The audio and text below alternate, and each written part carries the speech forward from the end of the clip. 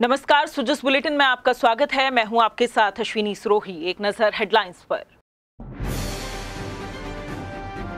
मुख्यमंत्री ने पाली में बिपरजॉय प्रभावित क्षेत्रों का किया हवाई सर्वे, अधिकारियों को राहत और मुआवजे के दिए निर्देश। अजमेर डिस्कॉम के बिपरजॉय डिजास्टर मैनेजमेंट की हो रही तारीफ़ 24 घंटे अलर्ट रहकर किया शिकायतों का निराकरण। रिकॉर्ड समय में पोल और ट्रांसफॉर्मर किए दुरुस्त।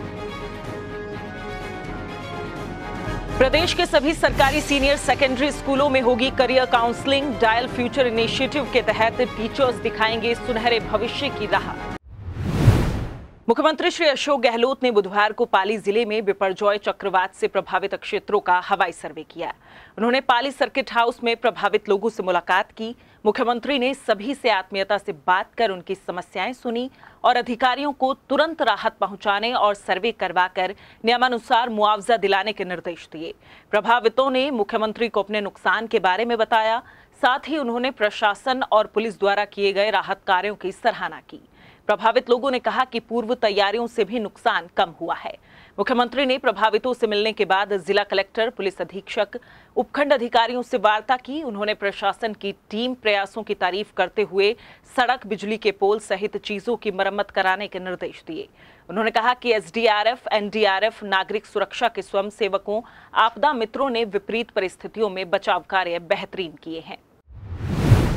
सब जगह तकलीफ़ तो हुई है। कच्चे मकान गिर गए, पक्के मकान क्षतिग्रस्त हो गए, सड़कें टूट गई, बेड़े बह गई, प्रॉब्लम तो है, खंभे गिर गए हैं। ठीक है ना? नुकसान हुआ है, पर सब जगह सर्वे का काम शुरू हो रहा है। और कहीं कहीं तो रेस्क्यू इतना रेस्क्यू इतना अच्छा काम किया जालोद में कोई साठ सत्तर लोगों को बचाया वहाँ जो पानी गिरे हुए थे। और सैकड़ों लोगों को रात दिलाई गई वहाँ पर। पाली में सुबह अभी बैठ रहा हूँ दो घंटे से। देख रहा हूँ जो लोग रहे मिलने के लिए, सभी लोग कह रहे साहब, अगर प्रशासन नहीं होता एक जगह का एस एच ओ नहीं होता तो मैं नहीं बच पाता, आपके सामने खड़ा नहीं होता। तो ये अगर भावना है तो एक तरफ़ तो हमारे लोग तो लगे हुए हैं। मुख्यमंत्री ने कहा कि तूफ़ान से निपटने में अधिकारियों के साथ आमजन ने भी अहम भूमिका निभाई है। सभी ने मिलकर इस आपदा का मुकाबला किया है। अगर प्रदेश में भाईचारे का यही माहौल रहा तो 2030 तक राजस्थान देश का नंबर वन राज्यों की फहरिस्त में होगा। ये जो साइक्लोन आया है साइक्लोन के अंदर भी भूमिका बहुत अच्छी निभाई। आम जनता ने भी, अधिकारियों ने, कर्मचारियों ने सबने अपना कर्तव्य निभाया है। यही माहौल रहा तो जो हम लोग सपना देखते हैं दो हज़ार तीस तक प्रथम श्रेणी में नहीं आए देश के अंदर, नंबर वन नहीं आया तो नंबर वन की श्रेणी में जितने राज्य आए हैं, दो, चार, पाँच, हम भी उसके अंदर हों, ये हमारी भावना होनी चाहिए। उसी रूप में शिक्षा में काम हो रहा है। सारी संस्थाएँ रास्ते में आ गई I I T I M triple I T AIIMS आ गया, सब कुछ आ गया। और स्वास्थ्य में हम नंबर वन है देश के अंदर। राइट टू हेल्थ जो कानून बना है, देश में कहीं नहीं बना हुआ है। पच्चीस लाख का बीमा दिया हम लोगों ने। एक से बढ़ के एक योजना दी। मुख्यमंत्री ने कहा कि चक्रवात से निपटने में सबने अहम भूमिका निभाई है लेकिन अब प्रभावितों को मुआवजा देना घरों को बनाना बिजली पोल और सड़कों की मरम्मत सहित अहम काम है जिसे हमें मुस्तैदी के साथ करना है। ओवरऑल मैं समझता हूँ कि जो संकट की घड़ी मैंने अधिकारी की मीटिंग ली है उनको नहीं कहा कि आपने अच्छा काम किया परंतु अब जो फॉलोअप है काम मेन काम अब है।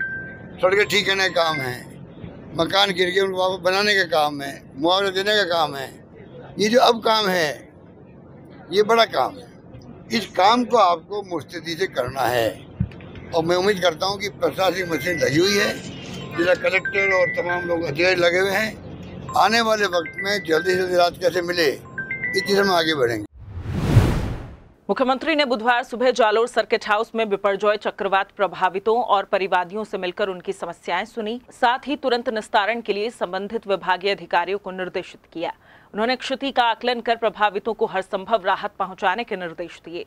मुख्यमंत्री ने सर्किट हाउस में कहा कि चक्रवात बिपरजॉय से प्रभावित लोगों को हर संभव नियमानुसार सहायता पहुंचाई जाएगी। और सब जगह जाके आए, वहाँ सब एक सब नुकसान है। ज़्यादा नुकसान तो जो है, एक तो झोपड़ी जो थी कच्ची उनका नुकसान हुआ। पक्के मकान वो क्षतिग्रस्त हो गए।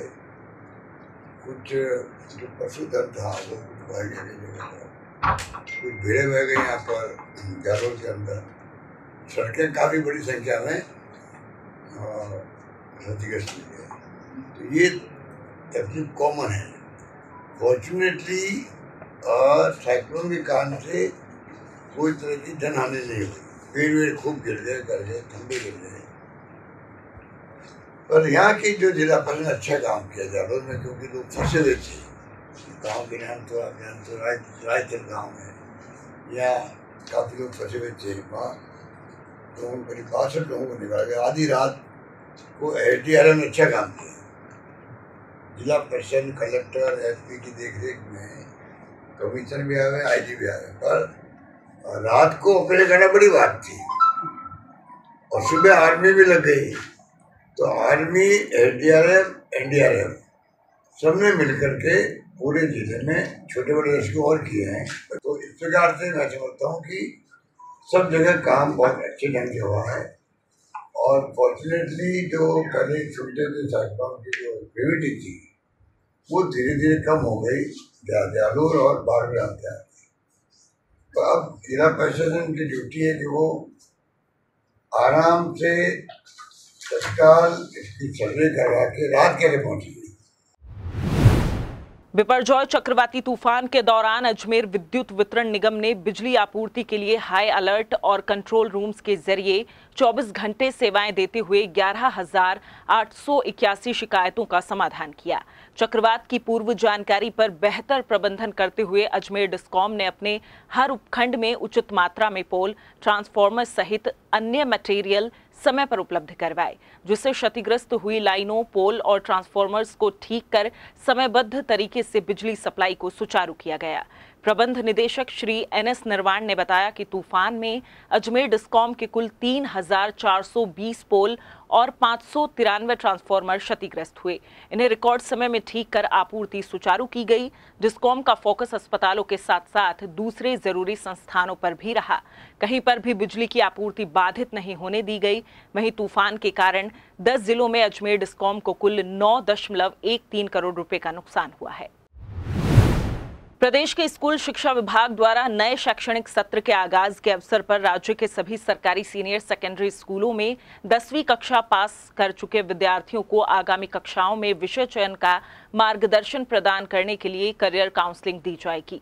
स्कूल शिक्षा विभाग ने इसके लिए डायल फ्यूचर यानी भविष्य की राह इनिशिएटिव के तहत आगामी 28 जून से 5 जुलाई तक सभी जिलों के राजकीय उच्च माध्यमिक विद्यालयों में परामर्श कार्यक्रम की रूपरेखा बनाई है।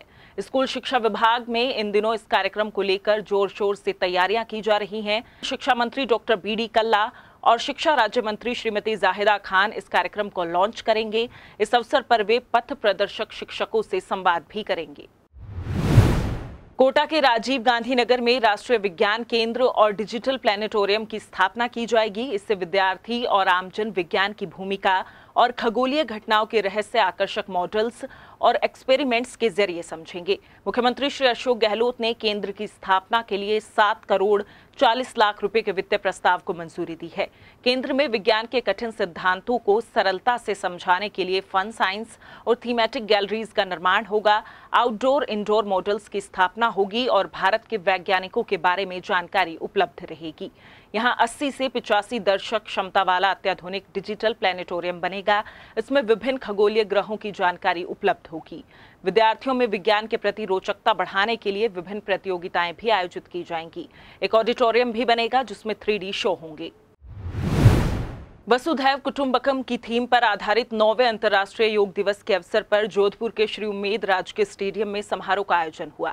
इस अवसर पर नगर निगम उत्तर महापौर श्रीमती कुंती देवड़ा परिहार ने सभी से शारीरिक, मानसिक और आध्यात्मिक विकास के लिए योग को अपने दिनचर्या में शामिल करते हुए जीवन शैली में सुधार करने का आह्वान किया। लोगों ने बढ़ चढ़कर पूरे उत्साह के साथ सामूहिक योगाभ्यास कार्यक्रम में भाग लिया। सुजस बुलेटिन में फ़िलहाल इतना ही। फिर होगी आपसे मुलाकात। तब तक के लिए नमस्कार।